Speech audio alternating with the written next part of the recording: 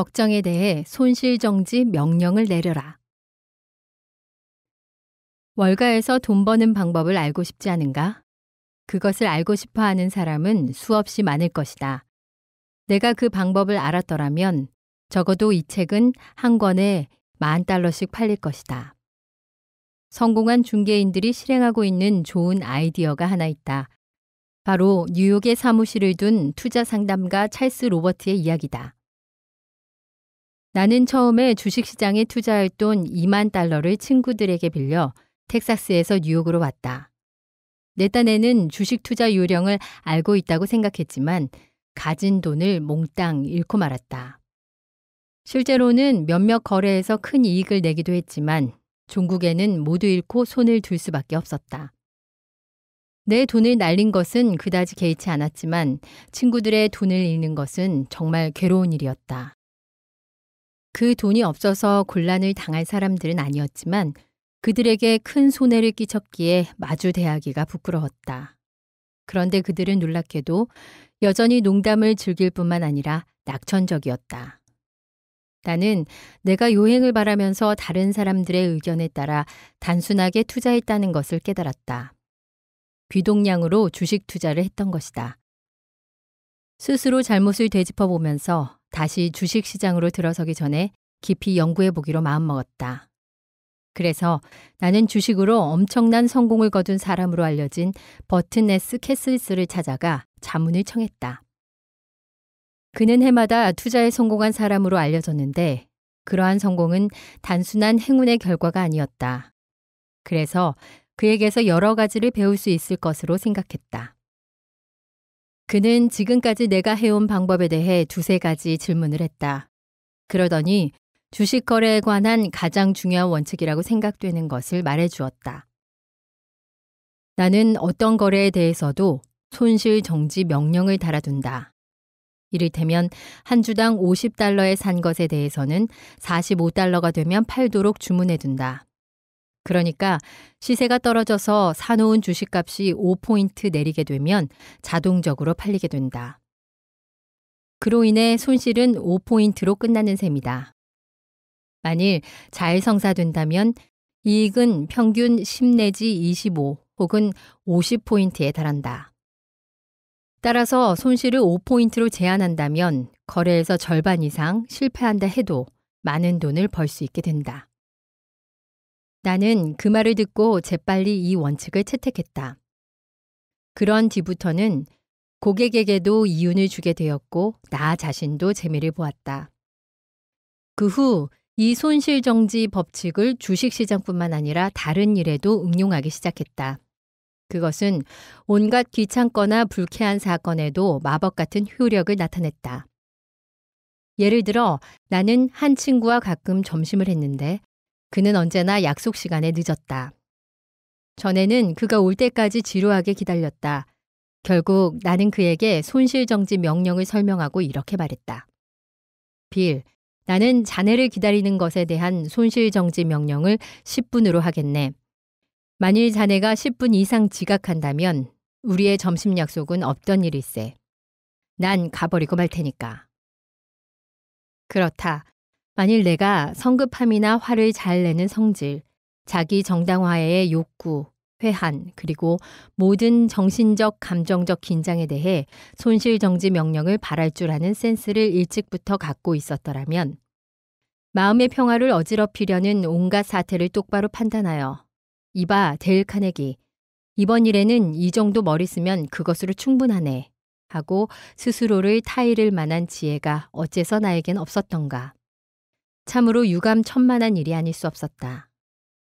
하지만 적어도 한 번 센스를 발휘한 적이 있었는데 이것만은 뽐내고 자랑해도 괜찮을 것이다. 그것은 중대한 일로서 장래에 대한 꿈과 계획, 여러 해 동안 한 일이 물거품처럼 사라지려고 하고 있었다. 30대 초에 나는 소설가가 되겠다고 결심했다. 말하자면 제2의 프랭큰 노리스나 잭 런던, 토마스 하디가 되려고 했던 것이다. 나는 그야말로 진지했기 때문에 유럽에서 2년간 지냈다. 이 무렵은 제1차 세계대전 후에 대인플레 시기여서 달러만 있으면 참으로 편하게 생활할 수 있었다. 그 2년 동안 나는 대걸작을 저술했는데 제목이 눈보라였다. 제목만큼은 정말 자연스러웠다. 이 저작에 대한 출판업자들의 태도가 다코다 평원에 휘몰아치는 눈보라만큼이나 싸늘했기 때문이다. 작품이 무가치하고 소설을 쓸 재능이 없어 보인다는 출판 대리인의 말에 심장이 멎는 것 같았다. 어리둥절한 기분으로 그의 사무실을 나왔다. 몽둥이로 머리를 얻어맞은 것보다 더한 충격이었다. 나는 망연자실했다. 그리고 지금 내가 인생의 기로에 서 있고 실로 중대한 각오를 하지 않으면 안 된다는 것을 깨달았다. 어떻게 해야 할까? 어느 쪽으로 길을 틀어야 좋을까? 이런 망연한 상태가 여러 주일 계속되었다. 그 당시에 나는 고민의 손실정지 명령을 내려라는 말을 들어보지 못했다. 그러나 이제 와서 그때의 일을 돌이켜 보면 그 말을 실행했음을 알 수 있다. 소설을 쓰느라 고심했던 2년 동안은 귀중한 경험이었고 거기서 다시 새롭게 출발했다. 성인 강좌를 만들어 교육 사업으로 되돌아갔고 여가에는 지금 여러분들이 보시는 것처럼 링컨의 생애 같은 전기라든가 인간관계론 같은 비소설류의 책들을 저술했다. 그런 결심을 했던 것을 다행으로 여기는가 라는 물음에 대한 답은 물론이라는 것이다. 그 일이 생각날 때마다 즐거워서 길 가다가도 춤을 출 정도다. 나는 결코 제2의 토마스 하디가 되지 못한 것을 슬퍼한 적이 없다. 지금부터 1세기 전 어느 날 밤 한 마리의 부엉이가 월든 호반의 숲속에서 울고 있을 때 헨리 소로는 수제 잉크의 거위 깃털로 만든 펜을 적셔가며 일기장에 이런 말을 썼다고 한다. 어떤 사물의 가치란 우리가 인생이라고 부르는 것의 양을 말한다. 이것은 즉시 혹은 장기간에 걸쳐서 교환되는 것이다. 우리들의 근본적인 존재 양식에서 산출되는 어떤 사물에 지나치게 지불하는 것은 어리석다는 말이다. 하지만 길버트와 설리반은 어리석은 일을 저질렀다. 그들은 유쾌한 가사와 즐거운 음악을 만들 줄은 알았지만 자신의 생활을 명랑하게 하는 법을 몰랐다. 그들은 미카도, 피나포어, 페이션스 등 실로 아름다운 오페라를 창조함으로써 온 세상을 기쁘게 했으나 자신의 감정을 조절할 수는 없었다. 말하자면 그들은 겨우 한 장의 융단 값보다도 못한 것을 갖고 몇 해씩이나 불쾌한 나날을 보냈다. 설리반은 그들이 매입한 극장을 단장하기 위해 새 융단을 주문했다. 그런데 길버트가 청구서를 보고 호통치자 싸움이 법정으로까지 번졌다. 두 사람은 죽을 때까지 화해하지 않았다. 설리반은 신작을 작곡하게 되면 그것을 길버트에게 보냈고 길버트는 그것을 받아 가사를 붙여 설리반에게 다시 보냈다. 한 번은 무대 인사차 함께 무대에 나서지 않으면 안 되자 무대 양쪽에 서서 제각기 딴 방향으로 머리를 숙임으로써 서로 얼굴을 외면했다. 그들은 일찍이 링컨이 했던 것처럼 서로의 원한에 대해서 손실 정지 명령을 할 만한 분별력을 갖고 있지 않았던 것이다. 남북전쟁 중에 링컨의 친구 몇몇이 그의 원수를 비난하자 링컨은 이런 말을 했다. 자네들은 나보다도 개인적인 원한이 심한 것 같군. 나는 아주 사소한 일 같으이. 여하튼 이익은 아닐 거라고 생각하네. 인생의 절반을 논쟁으로 허비할 겨를이 없으니 말일세. 누구든지 나를 공격하지 않는다면 그의 과거사는 잊어버리기로 했네. 나는 숙모인 에디스가 링컨 같은 관용 정신을 가져주었으면 한다. 숙모와 프랭크 숙부는 바싹 말라 물 대기도 나쁘고 잡초가 많은 데다가 저장까지 잡혀 있는 농지에 살고 있었다. 두 분이 지내는 형편은 말이 아니었고 동전 한 푼까지도 아끼지 않으면 안 될 형편이었다. 그런데도 숙모는 커튼이다 뭐다 하며 자질 구레한 것들을 사들여 보잘것없는 집을 장식했다. 더구나 숙모는 그것들을 외상으로 샀다. 빚을 겁내는 농부 기질의 숙부는 걱정이 되어 아내에게 외상을 주지 말라고 몰래 상점에 부탁했다. 이 사실을 알고 숙모는 노발대발했고 이 일로 빚어진 숙모의 노여움은 무려 50년 동안이나 계속되었다. 나는 수없이 그 이야기를 들어왔지만 최후로 들은 것은 숙모가 70살이 훨씬 넘었을 때였다. 나는 숙모에게 이런 말을 했다. 숙모님, 숙부님께서 숙모님의 체면을 손상시킨 것은 확실히 잘못이었습니다. 그렇지만 50년 전의 일을 가지고 지금껏 서운한 말씀을 하시는 숙모님 쪽이 더 나쁘다고 생각되지는 않나요? 숙모님은 오랫동안 지녀온 노여움과 괴로운 추억에 퍽이나 값비싼 대가를 지불했던 것이다. 이른바 마음의 평화를 상실하는 대가였다. 벤자민 프랭클린은 7살 때 저지른 잘못을 70년 동안이나 기억하고 있었다. 그는 7살 때에 호루라기를 몹시 좋아해서 갖고 싶어 안달이 났다.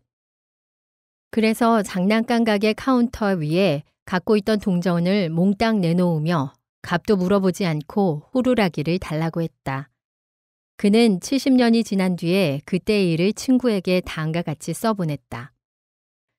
그것을 갖고 집으로 돌아와서는 좋아서 어찌할 바를 몰라 온 집안을 뛰어다니며 불고 다녔지. 하지만 형들은 호루라기를 비싸게 산 것을 알고 동생을 꾸짖었다. 그는 제값을 주고 사지 못한 것이 분해서 울었다. 훗날 프랭클린은 피레침을 발명한 과학자로 유명해지고 프랑스 대사가 되어 세계적인 인물이 되었을 때 호루라기를 비싸게 샀던 일을 기억하면서 호루라기로 얻은 기쁨보다도 분한 생각이 더했다고 했다. 그러나 프랭클린이 체득한 교훈의 대가는 값으로 따지자면 싼 것이었다.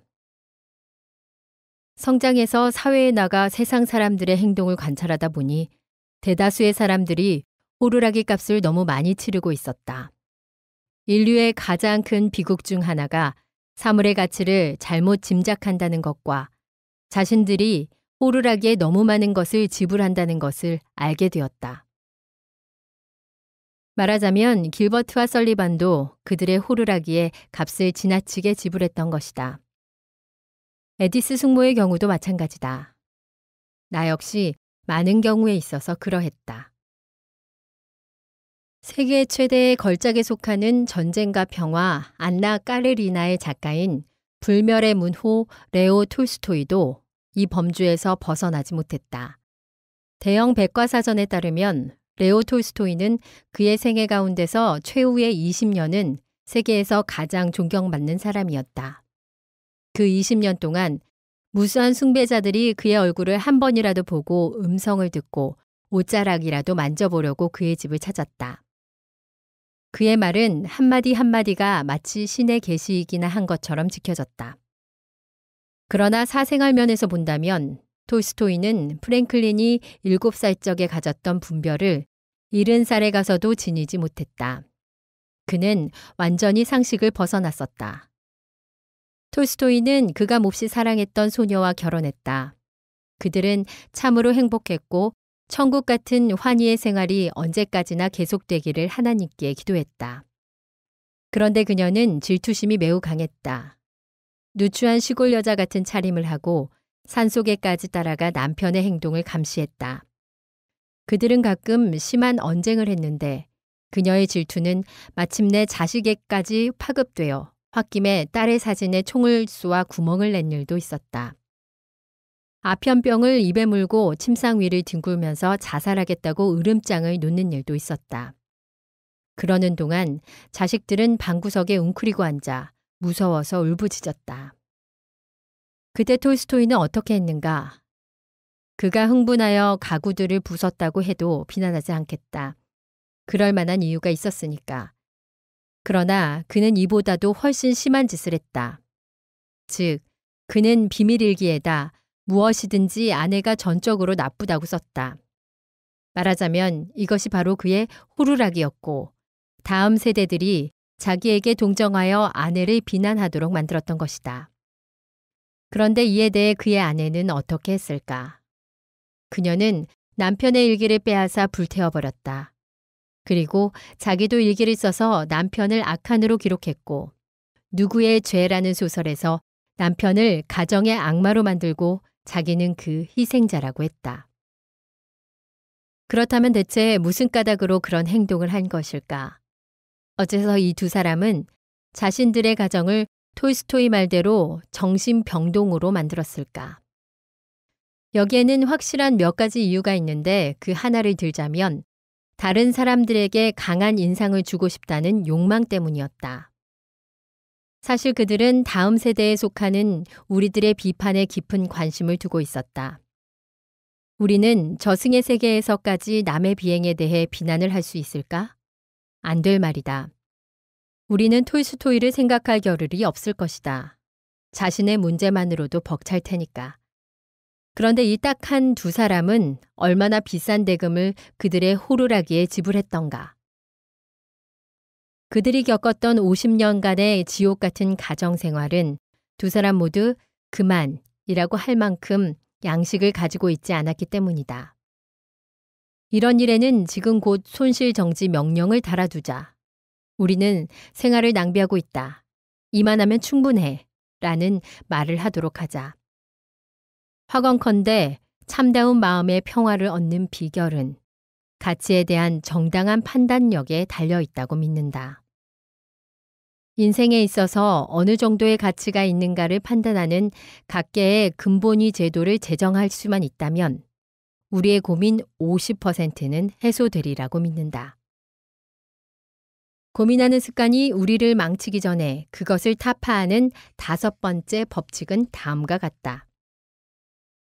살면서 손해를 회복하려다 오히려 더 큰 손해를 보게 될 때는 일단 멈추고 다음에 세 가지 질문을 생각하라. 1.